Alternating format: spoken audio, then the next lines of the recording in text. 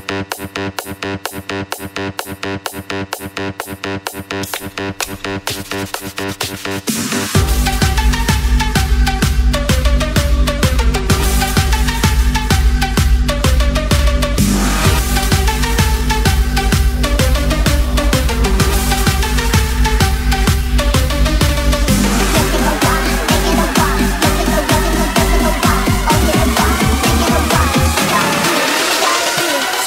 free, sugar free.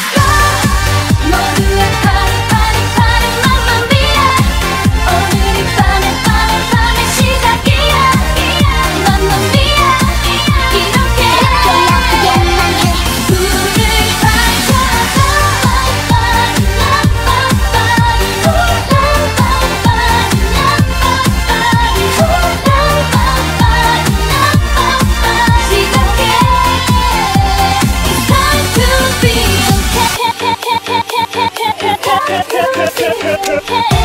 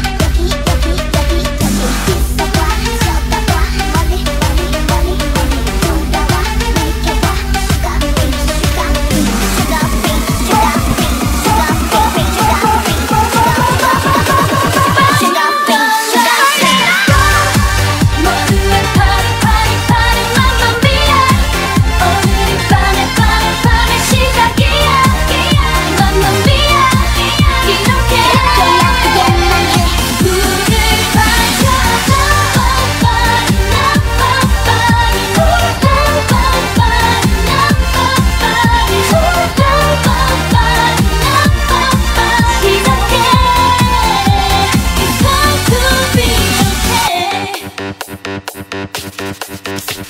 you.